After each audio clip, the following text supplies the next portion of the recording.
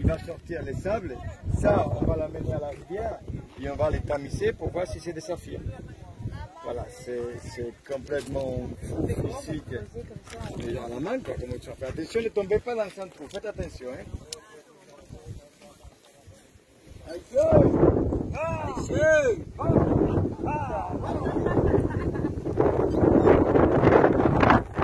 complètement perdu au milieu de nulle part. On a marché une heure et demie, deux heures pour arriver. On a quitté l'école des sapins ce matin. Et au bout d'une heure et demie, deux heures, on arrive ici et il y a une centaine, 150 gars, des enfants en train de travailler. Donc euh, le monsieur qui est devant moi, regardez, je vous montre. Ok. Ok. Et il va descendre. Voilà.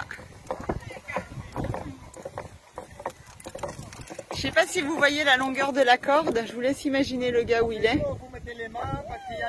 Et ils vont remonter effectivement de la terre à l'étamiser. Voilà l'origine de l'école des saphirs pour sortir les enfants de ce travail. Puisque euh, bah forcément, vu la taille des trous, on avait plus l'habitude d'envoyer des enfants que d'envoyer des hommes. Donc euh, l'ONG de Bois de Coco a créé cette école pour sortir les enfants du travail des mines de saphir.